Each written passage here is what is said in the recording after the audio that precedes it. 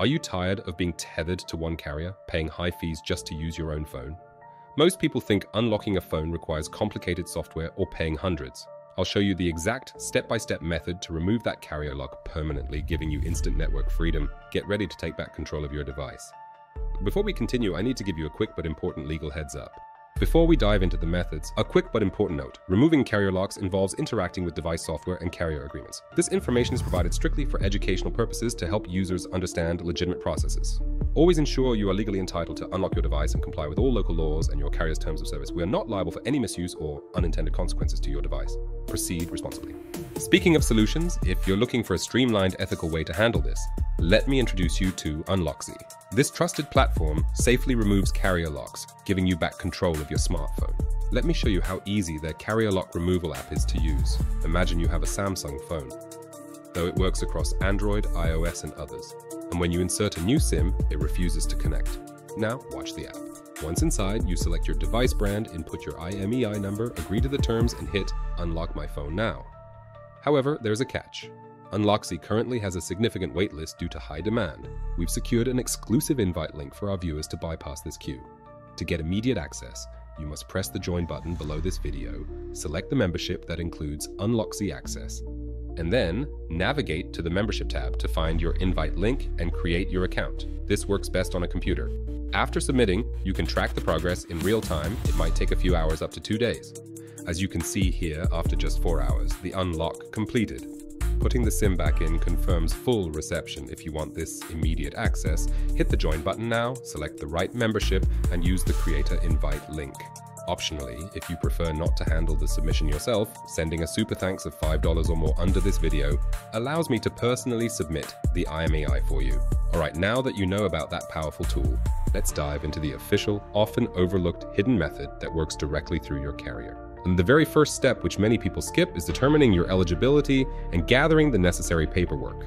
This is crucial because we are aiming for the official IMEI unlock, which is permanent and bypasses risky third party software. The first thing you need is your phone's IMEI number. You can find this by dialing star number 06 number on your device or checking the original box or your phone settings. Now, here's the interesting part we need to tackle the surprising eligibility requirements. Most people assume you must have paid off your device completely. While that's the easiest path, you might already qualify if A. Your contract term has been fulfilled even if you are still on a monthly payment plan. B. The device is not reported lost, stolen, or associated with fraud. And C. You have been an active customer for a minimum period, often 60 days, even if you are switching to a prepaid plan. We need to discover the one official method guaranteed to unlock your phone directly through your carrier. Knowing these details beforehand streamlines the entire process and prevents unnecessary back and forth with customer service. Keep this IMEI handy, you'll need it for the next step. Now that we have our IMEI and we've verified we meet the basic criteria, it's time for step 2, contacting your current carrier for the unlock request. This is where many users fail because they ask the wrong questions. Do not ask, can you unlock my phone? Instead, you need to specifically request an IMEI-based network unlock authorization this is the crucial difference between a SIM unlock and an IMEI unlock we must cover. A SIM unlock might be temporary or tied to a specific service, but an IMEI unlock registers the device as permanently unlocked on the global database, which is what we want. When you call, be polite but firm.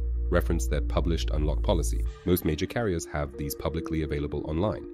If the first representative says no, politely ask to speak to a supervisor or someone in the device support or technical assistance department, as they often have higher authorization levels. Remember, they are trained to handle these requests, but sometimes you need someone with more authority. Document the date, time, and the name of the representative you spoke with. This documentation is your leverage if the process stalls. This official request is the key to ethical unlocking. Building on that, once your request is approved, you move into step three, following carrier instructions, and the carrier will typically respond via email or text message. This response will contain either a specific unlock code or instructions for a remote unlock. For older feature phones, you might receive a 16 digit code. For modern smartphones, especially iPhones and newer Androids, the process is usually remote. The carrier submits the unlock request to the manufacturer's database, which then signals your phone to accept new SIMs. This leads directly into step 4 executing the unlock. If you received a code, you will typically insert a SIM card from a different carrier. the phone will prompt you to enter the unlock code. Enter it carefully. Most devices only allow a few incorrect attempts before permanently locking the input field. If the unlock was remote, simply power down your device, insert the new non-affiliated SIM card, and power it back on. If successful, you should see the new carrier's name appear in the status bar within moments. We must walk through the exact steps to verify your phone's unlock status immediately after the process is complete, ensuring you aren't scammed or left with a device that only seems unlocked. This verification is the final hurdle before you enjoy your freedom.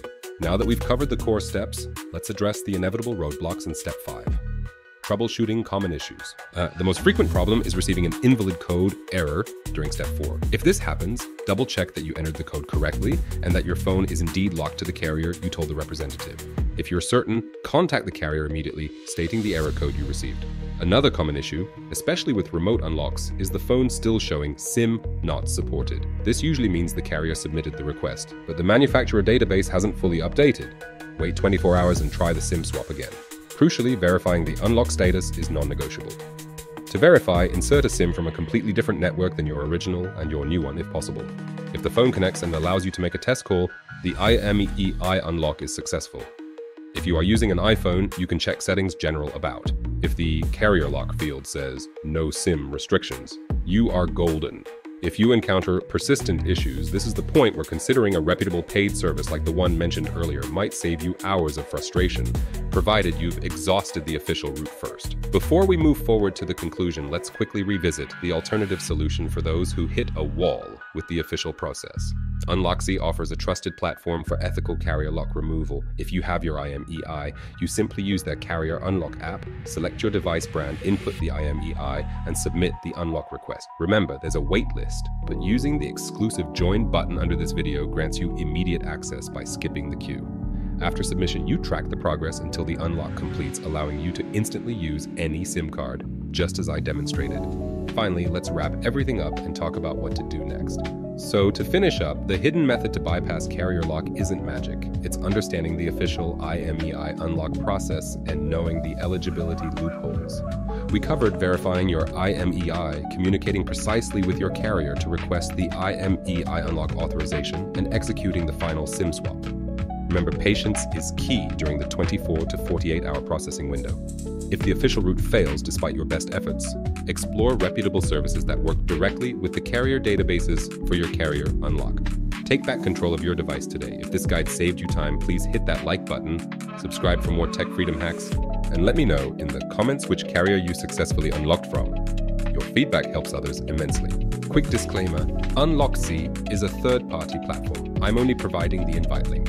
I don't own, run, or control the service. All support, account issues, and platform policies are handled by Unlocksy.